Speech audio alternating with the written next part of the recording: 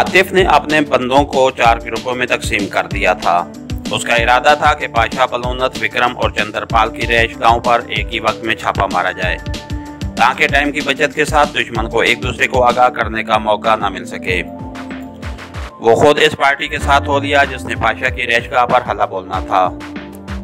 दो वैनों में सवार दस बंदे पाशा की रैशगाह की तरफ़ बढ़ते चले गए। पाशा की रैशगाह का पता कोई इतना पचीता नहीं था कि उन्हें तलाश करने में कोई दिक्कत पेश आती। वो अभी तक उस मकान से 50-60 गज दूर थे कि एक काली वैगन उस कोठी से निकली और मुखालिफ मुखालिफ सिमत में रवाना हो गई। आतिफ चीखते हुए ड्राइवर से बोला, इसका ताकुब करो। और उसके साथ वो बाकी टाकी पर दूसरी वैगन वालों से मुखातिब हुआ, तुम लोग मकान की तलाशी लो। हम काली वैगन के पीछे जा रहे हैं, एहतियात से अंदर दाखिल होना। ठीक है, सर। उसे इशफाक की मुदमाना आवाज़ सुनाई दी। काली वैगन की रफ्तार काफ़ी तेज़ थी। उन्हें भी उस तक पहुँचने के लिए रफ्तार बढ़ानी पड़ी। और जब काली वैगन एक सब्ज़ी फिरोज के ठेले को टक्कर मारकर रुकने की बजाय उसी रफ्तार में बढ़ती गई तो आतिफ समझ गया कि वो ताकुब से बाखबर हो गए हैं। गली के खात्मे तक वो फासला घटने की बजाय बढ़ गया था और उसकी वजह ड्राइवर का मोहतात पान था। वो तेज़ी में किसी बेगुनाह को मारने का रिस्क नहीं लेना चाहता था। उसके बरक्स काली वैगन का ड्राइवर हर किस्म के खतरात से बेनियाज था। रोड पर चढ़ते ही ड्राइवर ने स्पीड बढ़ाते हुए पुलिस का मखसूस सैरन भी ऑन कर दिया। चौक तक पहुँचते पहुँचते दोनों गाड़ियों के दरमियान फासला काफ़ी कम हो गया। उनके चौक के करीब पहुँचते ही लाल बत्ती रोशन हुई मगर काली वैगन इशारा तोड़ते हुए आगे बढ़ गई। उनकी वैगन के सामने दो कारें पहलू पे पहलू रुक गई थीं, जिसकी वजह से उनका रास्ता ब्लॉक हो गया। ड्राइवर ने तेज हारन बजाकर कार के ड्राइवर को रास्ता छोड़ने का इशारा किया, मगर वो शायद सिग्नल तोड़ने का रिस्क नहीं लेना चाहता था। इसे पीछे से टक्कर मारो। दूर जाती वैगन को देखकर आके आतिफ वहशत ज़दा लहजे में बोला। ड्राइवर ने होंड पींचते हुए एक्सीटर दबाया और ताकतवर वैगन सुजुकी कार को धकेलते हुए आगे ले गई।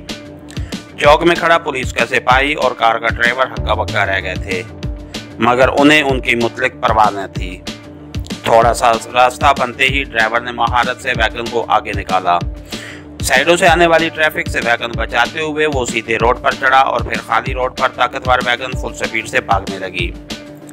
इन चंद लम्हों का फ़ायदा उठाकर काली वैगन काफ़ी आगे निकल गई थी।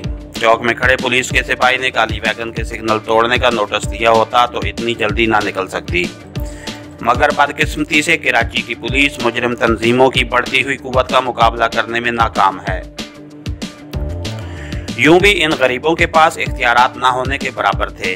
इस वजह से वो किसी ऐसी सूरत हाल में फंसने से हतुलवसा बचने की कोशिश करते, जिसमें किसी ताकतवर शख्स के मुलविस होने का अंदेशा होता। काली वैगन का ताकुब न करने में भी वही सोच कार फरमा थी कि उस जैसी कीमती गाड़ी में कोई बासर शख्सियत ही बराजमान हो सकती थी। दूसरे चौक को भी दोनों वैगनों ने आंधी व तूफ़ान की तरह क्रॉस किया। अपनी तमाम तर महारत और कारदाने के बावजूद काली वैगन उनसे 50-60 गज की दूरी पर थी।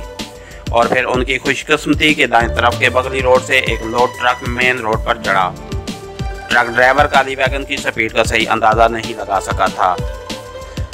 और उसने वैगन के पहुँचने से पहले रोड क्रॉस करके अपनी लाइन में जाना चाहा और उसकी ये गलती आतिफ पार्टी के लिए गैबी इमदाद बन गई।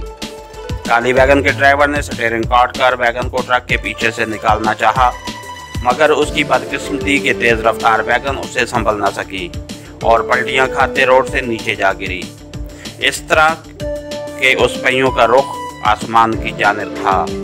इसके साथ ही हमारी आज के एपिसोड का अख्ताम हुआ। कहानीगर चैनल को लाइक कीजिए सब्सक्राइब कीजिए और बेल आइकन को प्रेस कर दीजिए, ताकि हर आने वाली नई वीडियो आप तक बर वक्त पहुँच सके। शुक्रिया।